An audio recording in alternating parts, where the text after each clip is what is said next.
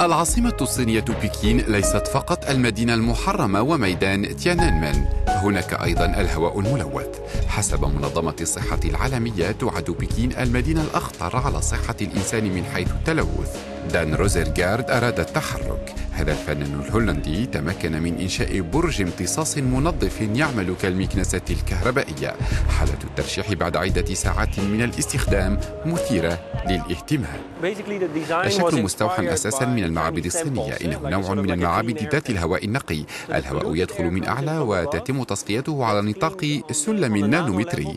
ثم يخرج الهواء النقي من هنا ويندفع إلى المحيط.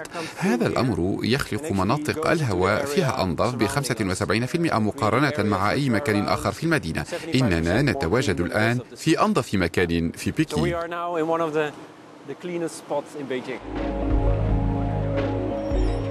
الهدف من كل هذا هو توعية المواطنين بمشاكل التلوث ودعوتهم إلى اتخاذ الإجراءات اللازمة.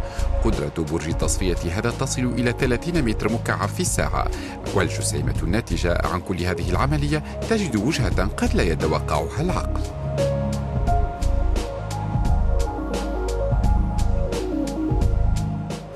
إذا هنا يمكنك رؤية المكعب الذي يتحرك بطريقة أو بأخرى في الهواء. إنها جزيئات مثيرة للإشمئزاز جمعناها من ألف متر مكعب من الهواء قمنا بضغطها وإدراجها لحماية أنفسنا لأنها ملوثة. هناك أصدقاء وأشخاص مقبلين على الزواج قاموا بشرائها كدليل على الحب لإيذائها لبعضهم البعض.